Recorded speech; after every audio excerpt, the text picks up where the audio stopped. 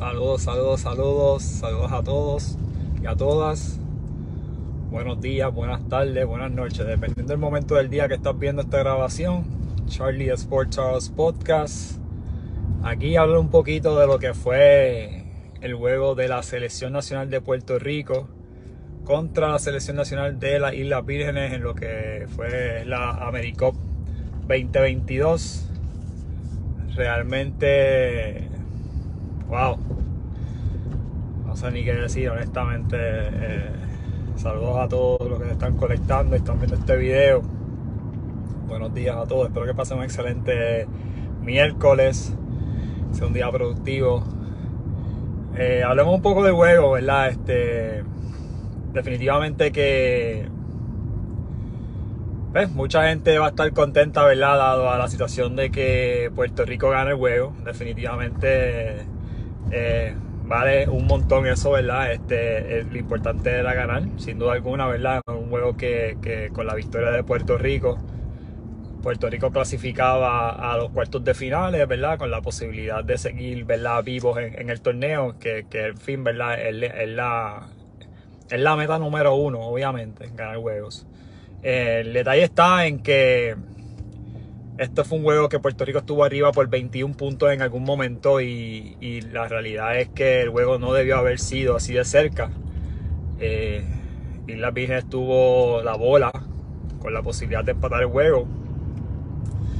Y, realmente pues, lo había mencionado en, el, día de ayer, ¿verdad? Eh, donde había mencionado Puerto Rico va a ganar el juego y debe de ganar el juego sumamente fácil, ¿verdad? Porque el equipo de las Islas Vírgenes realmente no es el equipo más talentoso del torneo. Es uno de los equipos que realmente a nivel de talento es, de los peores.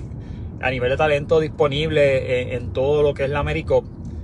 Y, pues Puerto Rico tiene que, exponer, ¿verdad?, eh, sus deficiencias y, simplemente pues ganarlo eh, convincentemente, cómodamente, ¿verdad?, para que simplemente tú, tengas como que ese manejo, ¿verdad?, de, de dominio ante equipos que pues están por debajo de tu nivel. Y, Puerto Rico en ocasiones en el juego así lo demostró, ¿verdad? Donde se pudo mantener eh, pues, dominando al equipo con, ventajas de dobledito y jugaron brutal, defendieron brutal, ¿verdad? Obviamente el equipo de, de Isla y lo había mencionado en el video de ayer, tiene deficiencias a nivel ofensiva, realmente ellos no tienen un mete bola, no lo tienen. O sea, eh, Nesbitt, que fue el jugador que los lideró ofensivamente con 26 puntos. Este es un jugador que en la NCAA promedió 3 puntos por juego. este tipo promedió 3 puntos por juego. ¿Verdad? Y, y, este jugador en la NCAA, que es un nivel de juego mucho más bajito que el BCN. Y que no solo el BCN, sino a nivel FIBA, ¿verdad? De igual manera es un nivel más bajo. Y lamentablemente eh, este chamaco vino ayer y, simplemente parecía la, segunda venida de, Clay Thompson de los Golden State Warriors. Realmente algo inexplicable. Nada, eh, Puerto Rico debió haber lucido eh, mucho más imponente en este juego, debió haber ganado por mucho más, mucho más cómodo. Ahí pues entonces vienen dos cosas que, yo creo pues, que se le puede acreditar a eso, ¿verdad? El número uno es la, la madurez del equipo, ¿verdad? Un equipo que obviamente bien joven, muchos de ellos pues apenas debutando con la selección nacional de Puerto Rico. obviamente pues la madurez en este tipo de torneos, ¿verdad? El entender lo, lo que es goal average y todo lo demás, pues es algo que Puerto Rico pues eh, tiene que aprender a hacer eso, ¿verdad? A, ganar estos juegos cómodamente y, simplemente no bajar tu nivel de juego al nivel de tu oponente. Yo creo que eso fue lo que Puerto Rico hizo en ese segundo, en la segunda mitad del juego, ¿verdad? El tercer cuarto es desastroso, desastroso totalmente y después vienen en la recta final y, tiran un cuarto cuarto, no peor, pero cerca de, estarlo y, de verdad que hay vi el juego en la oficina, ¿verdad? Y, yo decía, wow, mano, este. Me sentía hasta molesto eh, ante el desempeño, ¿verdad? Del equipo, porque pues yo, creo que si, algo yo he recalcado durante mis análisis de este, de este torneo es, la consistencia. Eh, Puerto Rico necesita conseguir consistencia para poder ser un equipo realmente competitivo a, a estos niveles, ¿verdad? Puerto Rico no es el equipo más talentoso de este torneo, yo creo que eso estamos claros, ¿verdad? No es el equipo más talentoso del mundo, no es el equipo más talentoso del torneo. Por ende, tú tienes que tratar de crear consistencia para que a través de, lo duro que tú juegas y la eficiencia y la ejecución y la eficiencia del juego, pues te lleve a, esa consistencia, ¿verdad? Donde tú puedas continuar ganando este tipo de torneos.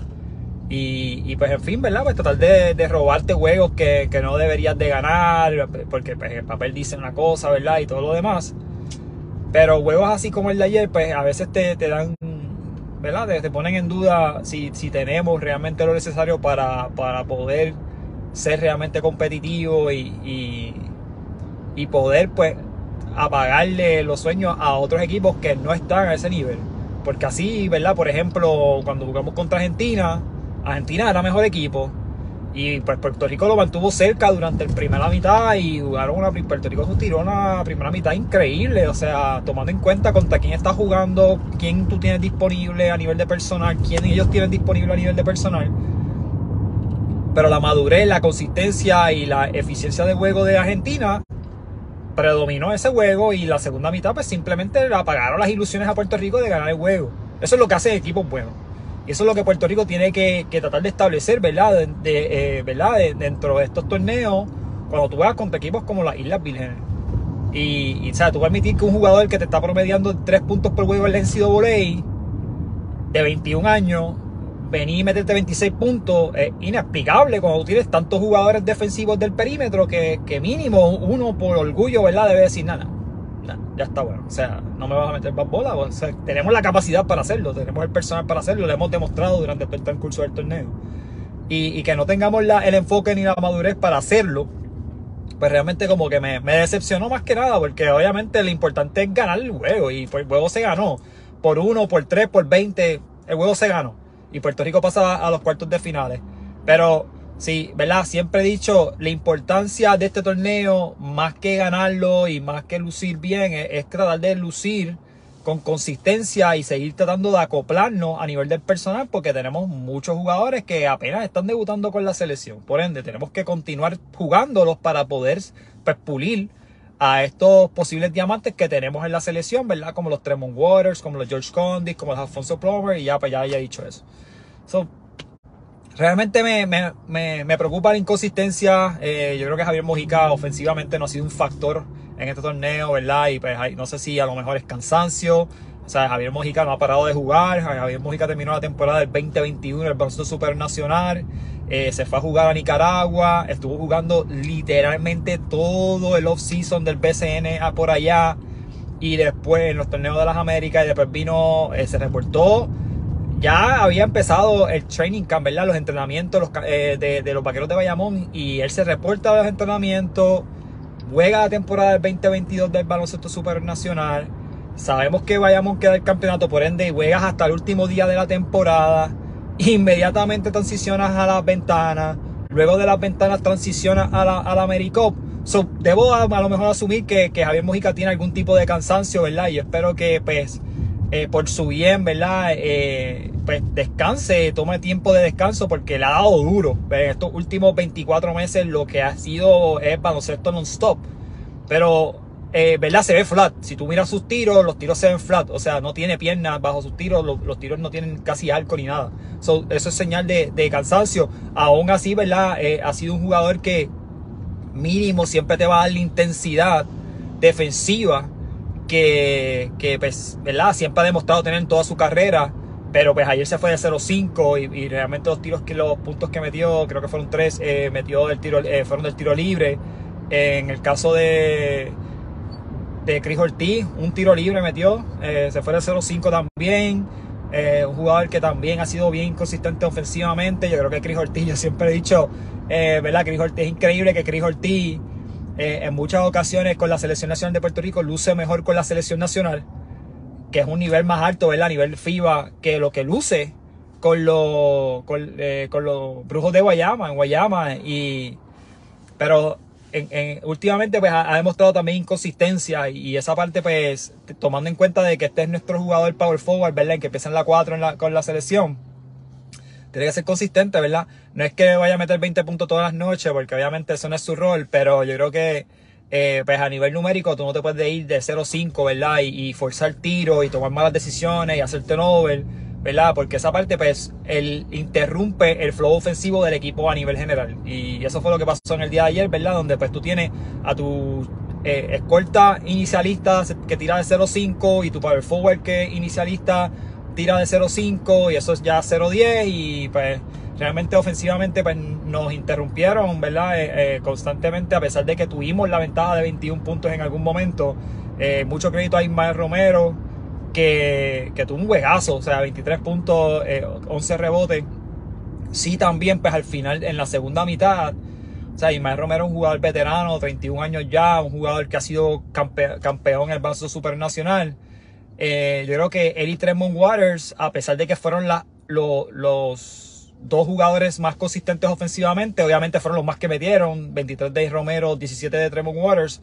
En la segunda mitad, nos interrumpieron la ofensiva porque empezaron a jugar mucho individual. Si tú miras la primera, la segunda, la primera mitad del juego, donde Puerto Rico estuvo relativamente cómodo jugando, el juego colectivo, a pesar de que realmente Ismael Romero y Tremont Waters eran los que estaban liderando ofensivamente el equipo, el movimiento de balón y, la, y el colectivo se veía mucho mejor que lo que se vio en la segunda mitad. Y entonces en la segunda mitad pues estábamos forzando muchos tiros, Tremont Waters jugando mucho uno contra uno, Ismael Romero en varias ocasiones como que cogía la bola y, trataba de atacar el canasto, lo cual es, bueno, ¿verdad? Porque tú quieres tener un jugador agresivo, pero me, recuerdo en una jugada donde él coge un rebote, se va en transición, lo cual hasta el momento de irse transición todo lo hace perfectamente bien, coge rebote, entra, entra en tránsito, coge rebote, pone la bola en el piso, sale en transición, eh, el equipo de, Islas Vírgenes como que los, los toma por sorpresa. Esto en el tercer cuarto. Y de repente, eh, em, eh, después que rompe la defensa, porque la defensa está completamente desbalanceada y, se convierte básicamente en un fast break de 4 contra 2 a favor de Puerto Rico, él llega hasta, la, hasta casi el tiro libre. En ese momento el jugador defensivo que queda al final del canasto está solo hay otro jugador de Puerto Rico en cancha, eh, entiendo que era Parker en ese momento, y él le negó la bola a Parker, quien está completamente solo, y entonces le, le cantaron un bloqueo, porque el, jugador defensivo trató de coger una ofensiva, pero se acomodó tarde y pues, le cantaron bloqueo al jugador de Islas Vírgenes. Entonces Ismael Romero fue el tiro libre y falló uno de los tiros libres. Entonces una posible anotación fácil, el rompimiento rápido, donde él pudo haber hecho, lo hizo todo bien hasta el último momento donde él tiene que hacer el pase extra, jugar el colectivo para que Puerto Rico pues caiga en ofensiva nuevamente, porque será en el momento del tercer cuarto donde estamos literalmente eh, botando el juego, porque fue un asco de tercer cuarto.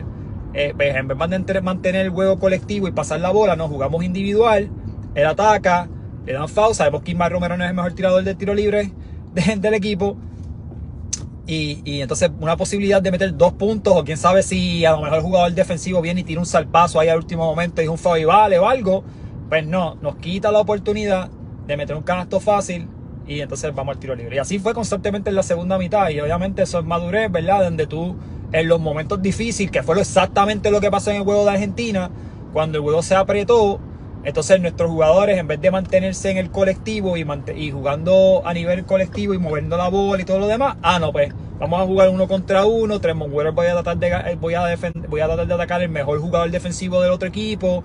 Y entonces voy a hacer tenover, voy a tomar tiros malos. Y entonces, pues, esas son las cosas que a nivel de madurez tenemos que mejorar, ¿verdad? Para poder competir al tú a tú con estos equipos que, no están por encima de nosotros a nivel del talento, como los Islas Vírgenes y, los demás equipos que están por ahí, ¿verdad? En, el torneo. Ayer fue, ayer, ayer, debió haber sido una victoria cómoda para Puerto Rico, cómoda, cómoda, o sea, cómoda. Estar pasando trabajo en los últimos segundos de tener que ir al tiro libre, meter los dos tiros libres y defender un tiro que pudo haber sido el tiro del empate. Es como que, ¿por qué estamos pasando este trabajo contra un equipo que le estábamos ganando por 21? Que lucimos eh, superior por, en todas las facetas del juego en la primera mitad y que simplemente dejamos que nos cañonaran el juego en la, en la, en la segunda mitad y que teniendo un montón de jugadores experimentados en el equipo, no pudimos como que montar un colectivo tanto defensivamente como ofensivamente para poder detener ese run. Porque tú puedes entender que el equipo te haga un empuje, porque pues, es, normal. Pero cuando tú tienes una ventaja de 21 puntos, tú no puedes permitir que un equipo de ese talento te haga ese tipo de empuje, porque tú eres más talentoso que ellos. Tú eres más talentoso que ellos, por ende tú te tienes que imponer. Y Nelson intentó todas las combinaciones a y por haber. O sea, todas las combinaciones a y por haber. Y realmente cada jugador que entró en la segunda mitad básicamente lo que quería era jugar uno contra uno. Voy a jugar un uno contra uno, yo voy a ser el jugador que voy a salvar el día. Y, realmente lo que hizo fue que nos sacó por completo del flow ofensivo del equipo y pues, pasamos eh, situaciones eh, eh, para cerrar el juego. En fin, el juego se gana. Y es lo importante, vuelvo y digo, ¿verdad? Obviamente no, no queda de otras, pero pues ahora nuestro compromiso es con, con la selección nacional de Estados Unidos. Este equipo de Estados Unidos no está invicto. Ellos perdieron en esta AmeriCup contra México en el primer partido de, de su primer compromiso para cada equipo. Y pues realmente es un equipo que es interesante. O sea, eh, ellos tienen unos jugadores ahí, ¿verdad? Que, hemos visto ya con la selección nacional en las ventanas. Ellos tienen a Norris Cole, que, fue eh, refuerzo de los Atléticos de Sajemán, que curiosamente, ¿verdad? Mucha gente se estaba quejando porque Norris Cole no estaba lesionado nada ni nada por el estilo, pero para efecto, si no hubiera jugando, tiene la mascarilla todavía que estaba usando en el último juego que jugó con, la, con, la, con los Atléticos en la, en la final. Y pues ellos, ese equipo viene de menos a más. Empezó bastante raro, ¿verdad? El equipo de Estados Unidos y entonces ahora están empezando a engranar Incluso el juego, el juego creo que ayer eh, eh, dieron una paliza. Eh, yo creo que estuvieron cerca de ganar por 60 puntos. O sea que a Venezuela. realmente eso no, no, dio ni gusto. Y pues Vamos a ver qué pasa, ¿verdad? Este, honestamente no, no, quiero entrar en el análisis porque no he visto bien los números y no he visto bien el personal del equipo. Eh, tengo varios nombres que sé que están en el equipo, pero no tengo el contexto completo de quiénes son los 12 jugadores de Estados Unidos para poder analizar ¿verdad? cómo podríamos irnos con el macheo. Pero a nivel de Puerto Rico tenemos que ser más consistentes. Necesitamos más consistencia de Cris Ortiz. Eh, necesitamos algo de Javier Mojica, ¿verdad? Yo sé que, vuelvo y digo, es bien probable que Javier Mojica a nivel de piernas esté explotado. O sea, son 24 meses que ha estado corriendo por ahí sin parar. Literalmente búsquenlo sin parar eh, y, obviamente Javier Mojica no es un nene, o sea, es un jugador sumamente veterano. So, ¿verdad? Este, vamos a ver cuánto más le queda en el tanque para esta recta final de lo que es la AmeriCup. Pero necesitamos consistencia, necesitamos consistencia George Condit, un jugador que ayer debió haber dominado. Realmente Islas Vírgenes no tenía nadie en la pintura, nadie. O sea, ese equipo es pequeño. Si, si Puerto Rico es pequeño, ellos son más pequeños. Y, él no pudo como que imponerse ahí, como se puso, como se se impuso eh, Ismael Romero en algún momento de dijo, mira, no, espérate, yo voy para el olvídate del, resto porque es que era lo, era lo propio, o sea, tú tienes que atacarlos al aro porque ellos no tienen estatura, no tienen taponero y, y incluso en, varias ocasiones George Condit le dieron, le hicieron buenos pases y él no pudo terminar el tiro, él no lo pudo terminar, le dieron un, en, varias, dos ocasiones le dieron manotazos en jugadas donde estábamos en rompimiento rápido, donde le estamos dando la bola al hombre grande para que él finalice en un canasto que tú pensarías que va a ser relativamente fácil y vino el jugador defensivo, él tiró, tiró el manotazo y resulta ser que le dio la bola. O sea, y obviamente crédito a defensa, pero tú no puedes permitir eso. O sea, tú tienes que arrancarle la mano a ese jugador y simplemente terminarlo en el aro, ¿verdad? Y, y donkearle la bola, posiblemente Fabi Vale. Y, y, obviamente eso es la diferencia de un nivel de juego ofensivo al otro. Él todavía está en el nivel eh, eh, eh, abajo. Y tiene la capacidad, tiene la capacidad, precisamente ayer lo estaba diciendo antes del juego, había mencionado, este jugador tiene todas las capacidades ofensivas para convertirse en un pivot realmente dominante en FIBA. Pero obviamente, pues, ¿verdad? Hay que darle tiempo, es un nene, es un niño, ¿verdad? Tiene 22 años nada más, hay que darle tiempo a, que se desarrolle, que juegue con, sus compañeros, que se, se encuentre dentro del sistema de juego. Pero la consistencia es la parte que necesitamos de George Condit. Yo pienso que George Condit tiene la capacidad para mínimo, mínimo, mínimo promediar 10 puntos por juego y 10 rebotes. Estoy pidiendo mucho, no estoy pidiendo mucho. 10 puntos por juego, 10 rebotes. Es lo que yo creo que George Condit debe de estar promediando y por lo menos, por lo menos defensivamente, un tapón por juego, por lo menos. Yo diría dos, pero vamos a mantenerlo bajo. Dos, un tapón por juego. 10 puntos, 10 rebotes, un tapón por juego. Yo creo que debe, eh, tiene la capacidad para hacerlo. Si él puede crear esa consistencia donde él puede promediar ese, esa, esos números, entonces tú, pues entonces eh, tratas de seguir incluyendo a Alfonso Plomer ofensivamente, que ayer del perímetro, eh, ayer de, de, campo tiró nueve tiros, metió cuatro. y pues ver, ¿verdad? Que otros jugadores se pueden establecer, ¿verdad? Más consistencia de Chris Ortiz ofensivamente, como mencioné ahorita. No es un jugador que tú vas a esperar de Chris Ortiz 20 puntos por juego, eso no es su rol. Pero no te puedes ir de 0-5. O sea, simplemente no te puedes ir de 0-5. Necesitas tener consistencia. O sea, si, si vas a tirar 5 tiros, pues métete 3, por lo menos, 3. O sea, y a veces, pues, la selección de tiros no es la mejor. Y ahí es que la parte donde, pues, por eso es que el porcentaje de tiros está tan bajito, porque no estás tomando buenas decisiones en tus tiros entonces estaba jugando tiros, estaba jugando el Hero Ball, que ayer todo el mundo se puso el Hero Ball, la capa, la, capa esa de Superman para ver quién iba a meter el canasto para, para romperles el corazón. Y ninguno lo metió, incluyendo Javier Mojica, que tiró un tiro malísimo en un rebote ofensivo al final del juego. O sea, eh, faltando menos de un minuto o faltando un minuto, eh, Maestro Romero tira la bola, la bola se falla, coge el rebote ofensivo, saca la bola. O no, fue Javier Mojica mismo quien tiró la bola. Javier Mojica tira la bola falla. Ismael Romero coge rebote ofensivo. Y de rebote ofensivo vino y. Y entonces. Eh, le, tiró la bola de tres puntos. Teniendo 14 segundos adicionales. Y entonces tú sabes, te quedas como que, mano, tú eres nuestro jugador veterano. Tú eres el jugador que, que nosotros podemos confiar que por lo menos la toma de decisiones sea la correcta. Y ni eso, ¿verdad? Nos pudo dar, ¿verdad? Donde pues tomó el tiro, tomó el tiro apresurado, faltando pudiendo agotar 14 segundos. Sí hay que mencionar, estaba solo. Sí es un jugador que, pues, obviamente estamos acostumbrados a que meta estos canastos puntillazos y todo lo demás. Pero vamos a ser realistas. Mira el porcentaje de, efectividad de tiro de Javier Mojica durante todo lo, que ha sido América completa y se ve evidente que el tipo no tiene piernas, no las tiene, o sea, no, no las tiene. Y pues, malas decisiones de nivel colectivo, porque yo creo que todo el mundo que entró a cancha ayer en la segunda mitad, todos cometieron algún tipo de error, ¿verdad? Y, tuvieron lapsos mentales que pues, no ayudaron a la, victoria de, Puerto Rico, pero bueno, en fin, vuelvo y repito, juego se ganó. ¿verdad? Yo creo, yo sé que mucha gente pues, se conectará y me comentarán hasta al garete, lo importante es ganar el juego, y estoy de acuerdo con ustedes, lo importante es ganar el juego, pero lo importante también de igual manera, ¿verdad? Y si lo dije desde ayer, lo he dicho en todos los videos, Realmente la AmeriCup no vale mucho. O sea, obviamente la clasificación de los Panamericanos, pues sí, ok, es importante. Claro que sí.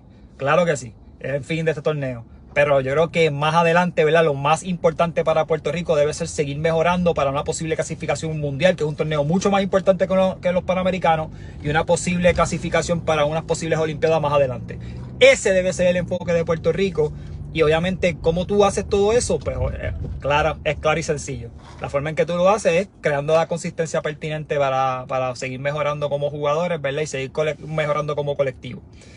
Así que vamos a ver, escríbame si estás de acuerdo o en desacuerdo conmigo. Probablemente mucha gente se va a molestar, ¿verdad? Porque se molesta cuando critico la selección nacional y, y mucho más me imagino que se van a molestar porque estoy criticando la selección nacional de Puerto Rico cuando ganamos el juego. Pero realmente no debió haber sido un juego tan cerca. Debió haber sido un juego que nuestro Jordan Cintrón y jugadores que están al final de la rotación del equipo debieron haber estado en cancha al final, a los minutos segundos, a los segundos finales, ¿verdad? A los minutos finales para poder cerrar el juego con, pues, con ventaja de doble dígito. Y no fue así vamos a ver, ¿verdad? ¿Qué pasa? Este, Estados Unidos, nuestro próximo compromiso es en el día de mañana. Eh, eh, ahorita vamos a estar subiendo el horario. Creo que ya el post está por ahí programado. Creo que es a las 12. Eh, pero no recuerdo bien a la qué hora es que juegan, pero es temprano en la mañana, hora de Puerto Rico. Pero si no me equivoco, a las 10 de la mañana. so, pues, vamos a ver qué pasa, ¿verdad? Este, a ver si, si nos podemos robar ese juego. Ese equipo de Estados Unidos no es invencible y lo hemos visto en este mismo torneo este torneo donde pues, perdieron su primer choque contra México. Pero obviamente, pues, eh, voy a los míos. voy a los míos, no hay más nada. O sea, voy a los míos. Vamos a ver qué pasa ahí. Pero nada, mi gente, gracias por el apoyo, gracias por el cariño que nos continúan brindando. Y nada, esto fue Charlie Sports Podcast. Hasta la próxima.